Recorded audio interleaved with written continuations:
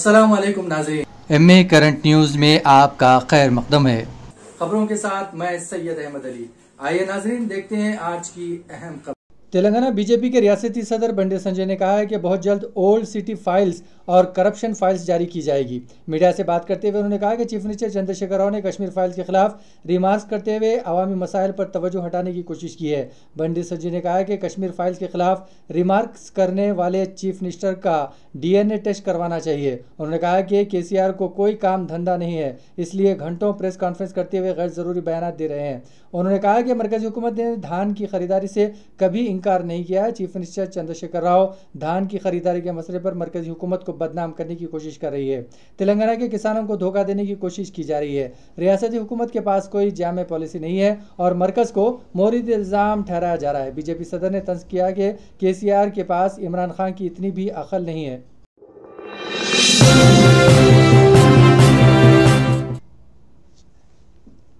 कीमती सामान ही नहीं, बल्कि अब पब्लिक टॉयलेट्स भी सार्किन से महफूज नहीं है। हैदराबाद में पहली मरतबा अवामी बैतुलखला की चोरी की, अपनी नवीयत की अनोखी और चौंका देने वाली वारदात पेश आई। पुलिस ने पब्लिक टॉयलेट का सरखा करने वाले मुलजिम को गिरफ़्तार कर लिया। मुलजिम की शनाख्त पैंतालीस साल जोगया साकिन दोमल की तौर पर की गई है, जो पेशे से ऑटो ड्राइवर बताया गया है। मुलजिम और इसके दो साथियों ने मिलकर ये न सिर्फ़ पब्लिक टॉयलेट की चोरी की, बल्कि इसे मुशीराबाद के एक स्क्रैप के ताजिर को पैंतालीस हज़ार रुपये में फ़रोख्त भी कर दिया। पोर्टल पब्लिक टॉयलेट की चोरी से मुतल जी एच एम सी के हुकाम की शिकायत पर पुलिस ने केस दर्ज करके मुलजिम को गिरफ़्तार कर लिया।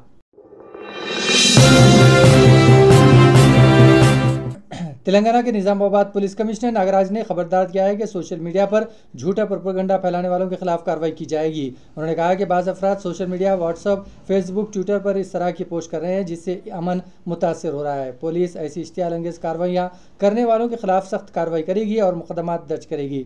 कमिश्नर पुलिस ने एक बयान में कहा है कि किसी को भी सोशल मीडिया पर इश्तियाल अंगेज पोस्ट नहीं करनी चाहिए। कमिश्नर पुलिस ने यह भी बयान बोधन टाउन में दो दिन कबल शिवाजी के मुजस्मे को नफ्स करने के मसले पर पैदा होने वाली कशीदगी के वाक़े के बाद जारी किया। इसी के साथ नाजरीन, खबरनामा यही अख्ताम पजीर होता है। हमें सारी टीम के साथ इजाज़त दीजिए और हाँ सब्सक्राइब कीजिए, लाइक कीजिए और शेयर कीजिए। इसी के साथ हमें इजाज़त